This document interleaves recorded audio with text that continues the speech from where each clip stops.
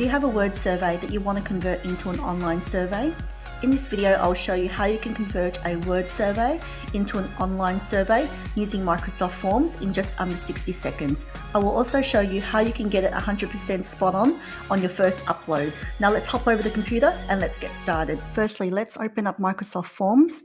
And in the top menu bar here, you will see there are three options. So the first option is new form. The second option is new quiz. And the third option here is the quick import button. To convert your Word file into an online survey, you need to select the Quick Import button here. But before we go and upload the file, let's spend some time talking about preparing the data file and setting you up for success. Here I have a customer feedback survey in a Word document that I want to convert into an online survey. The survey has a total of 20 questions, which is broken into four parts. So you have customer details, quality of service, customer service, and communication.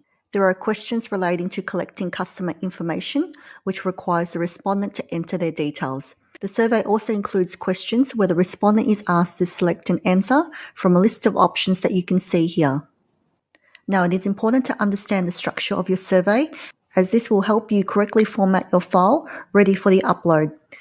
This way you will not get any errors and will eliminate the need to rework your survey online. For the survey name, make sure that you use the title format. This will help Microsoft Forms recognize and apply the text as the survey title. Add a short description to let people know what the survey is about and approximately how long it will take them to complete the survey. Now, this is important for three reasons. The first reason is that if you don't add a short description, you will get this prompt after you upload your file to add the description anyway. Now, while you can add this manually afterwards, it's better for you to add this in the original import file and upload it together with your survey questions. Two, writing a short description at the start of the survey is important because it provides context and explains the purpose of the survey. This helps respondents understand why their input is important and also what to expect, leading to more accurate and thoughtful responses. It also sets the tone of the survey, clarifies the time commitment, and increases the likelihood of the survey being completed by the respondent. 3. By default, Microsoft Forms will automatically assume that the text following the title is related to the description and will automatically add the text as the description. If you are using headings to structure your survey, make sure you use the headings format here this will tell Microsoft Forms to convert the headings to what they call sections. So here I have four sections. So the first section is customer details. The second one is quality of service. The third one here is customer service. And the final section I have in my survey is communication.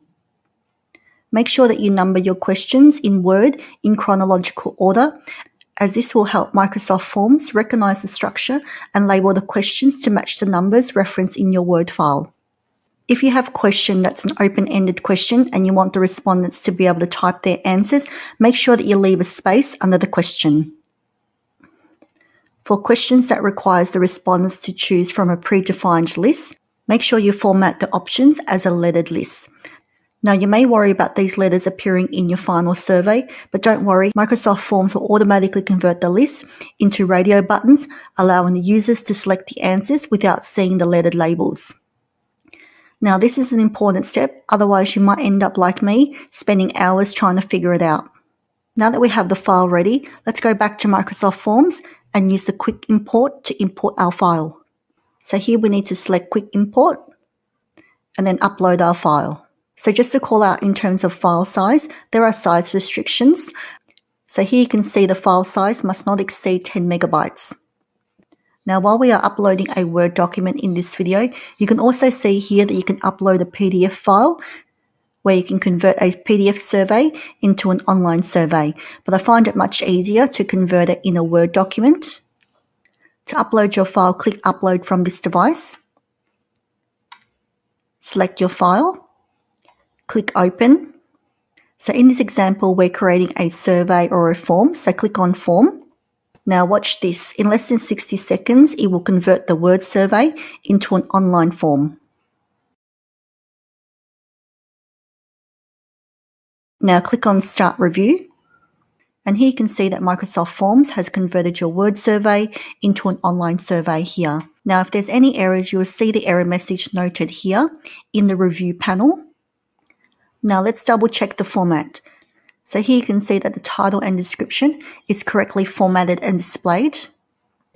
So here we have the sections, the questions, as well as the answers correctly displayed as what we had in the Word file.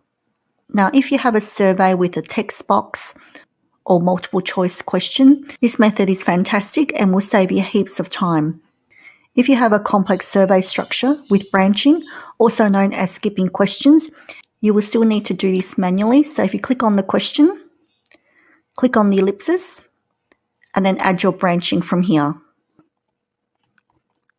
but by importing the file, it will help remove some of the sting of creating it all manually.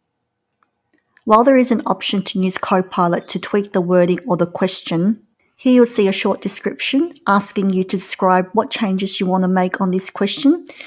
You are unable to change the style of the question. For example, if you have a multiple choice question and you want to change it to a text box, you're unable to change it using the prompts. However, I am hopeful that this will change in the future update. Now that we've successfully uploaded our survey, let's have a look at the layout. If we click on the icon here, here you can change the layout by selecting one of the options.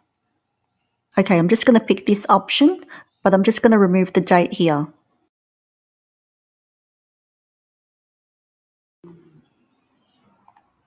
Next, I want to change the background image, so let's select this image. Now, when you're ready to share the survey, click on Collect Responses. And here you can copy the link and send it out in an email.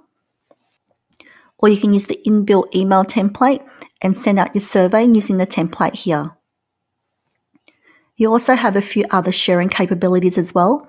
So if we click on the button here, you can see here that you can download a QR code, you can embed the survey on the website, or publish on social media, depending upon your use case. Now that you've shared the survey, all the respondent will need to do is to complete the survey online and hit the submit button once they've completed the form. Now, once the survey is completed by the respondent, it will automatically update Microsoft Forms in real time. So if we click on the survey, you can see over here on the top right hand side, you've got one response. So if you click on responses, you will now see a dashboard of the survey response. And if you scroll down, you'll be able to see the individual response. And over time, as you receive more data, you'll also be able to see some trends here. To export the file in Excel, click on the button here. And here you'll be able to view the raw data and you can perform your analysis from here. Now make sure you try it out today and let me know in the comments below what you think. Now if you enjoyed this video, make sure you click on the next video on how you can outsource your meeting minutes using Copilot. Thanks for watching and I'll catch you next time. Bye for now.